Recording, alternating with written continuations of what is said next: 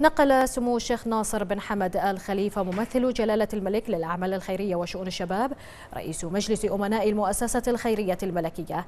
نقل تحيات حضرة صاحب الجلالة عاهل البلاد المفدى حفظه الله ورعاه الرئيس الفخري للمؤسسة الخيرية الملكية للدكتور الشيخ عبد العزيز بن علي بن راشد النعيمي المستشار البيئي لحكومة إمارة عجمان بدولة الإمارات العربية المتحدة الشقيقة.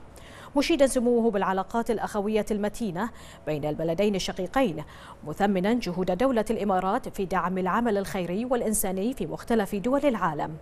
جاء ذلك خلال استقبال سموه للدكتور الشيخ عبد العزيز بن علي بن راشد النعيمي المستشار البيئي لحكومة إمارة عجمان بمناسبة مشاركته في منتدى المؤسسة الخيري الملكية الثالث تحت شعار إبداع إنساني.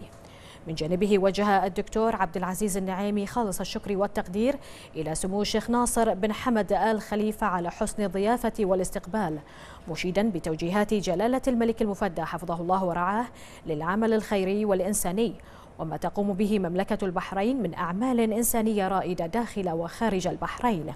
مثمنا القيادة الحكيمة لسمو الشيخ ناصر بن حمد آل خليفة للعمل الخيري والإنساني عبر المؤسسة الخيرية الملكية. كما أشاد بالمنتدى مؤكدا بأنه مصدر إلهام وسيساهم في تطوير المجال الإبداعي الخيري.